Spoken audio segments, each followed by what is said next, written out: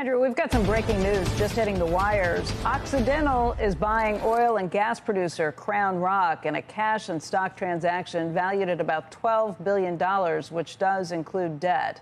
That deal will boost Occidental's production by 170,000 barrels of oil equivalent per day and expand its footprint in the Permian Basin.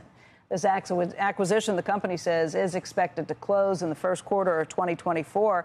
Maybe not a, a, huge surprise because of all the activity that we've seen. There have been some reports written up recently about this potential deal that Occidental was in the hunt for this company.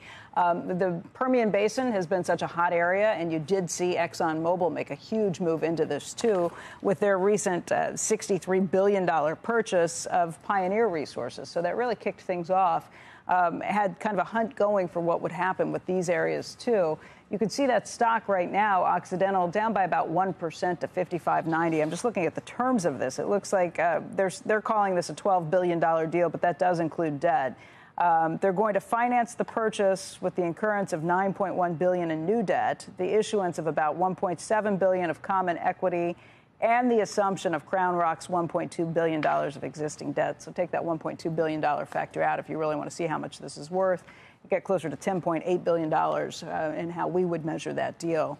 Um, Occidental saying that it's going to be able to make some moves with this too. Yeah, uh, saying it's basically um, additive to free cash flow on a diluted share basis, about a billion dollars. That's based on $70 oil, so basically where oil's trading right now. And then, yeah, supporting a uh, 22% dividend increase, 22 cents a share. So rebuilding that uh, that cash yield as well. Uh, the issuance of shares, maybe as part of the financing of the deal. Um, not sure if that was necessarily known, but it's a it's a pretty modest amount. It's a 50 billion dollar market cap, Occidental. Right, and, again, 9.1 billion of new debt, 1.7 billion dollars of common equity.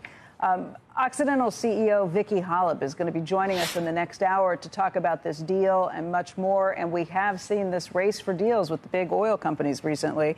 Um, not just that ExxonMobil bid for Pioneer at $60 billion, you had Chevron's bid for Hess at $53 billion. Um, and we'll talk to her about a lot of things that we've seen out there um, and the transition of this company too, which, by the way, has been a very strong performer in the S&P 500. Right.